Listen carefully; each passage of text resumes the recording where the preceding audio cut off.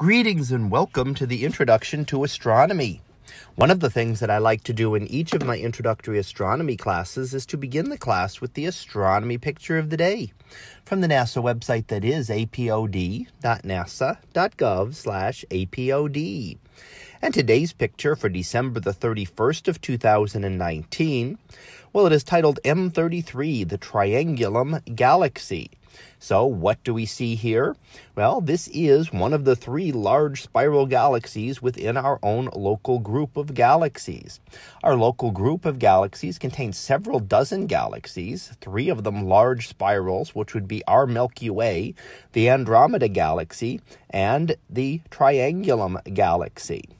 Now, this is the smallest of the three, but these three are the largest galaxies within our group and are uh, uh, joined by a number of small, irregular, and dwarf elliptical galaxies that make up the remainder. So, these are the most of the material within our local group, and the others are much smaller portions of it. Now, in terms of galaxy clusters, ours is a very small group. Uh, there are much larger galaxy clusters, and the very large galaxy clusters actually contain the giant elliptical galaxies, which will dominate those. Now, the spiral galaxies, as we see here, uh, contain, of course, a spiral structure. They are a flattened disk galaxy. So, if we could turn this edge on, then we would only see it very as a very thin galaxy.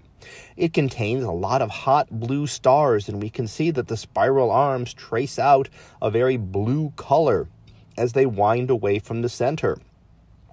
The hot blue stars only live a few million years, and that tells us that they must have formed recently. Why? Well, that's because they're still present in the galaxy. If something only lives a few million years, then it had to have formed within the last few million years.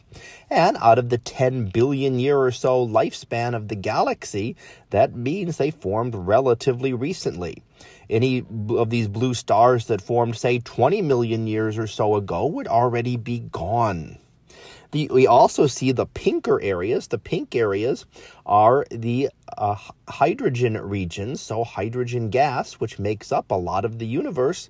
Hydrogen gas, when excited by ultraviolet radiation from these hot stars, will glow a reddish color. So, hydrogen specifically gives off that red color when it is excited by the high energy of these young stars.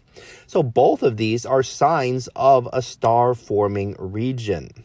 So here we can see the Triangulum galaxy, again, one of those uh, large, one of those larger spiral galaxies that is part of our local group of galaxies. And we use these as one of the ways to be able to help determine distances in the universe. Distances can be very hard to measure, and we need to calibrate it with local galaxies to be able to get those distance measurements and be able to piggyback as we work our way further out to determine distances to galaxies that are much, much further away.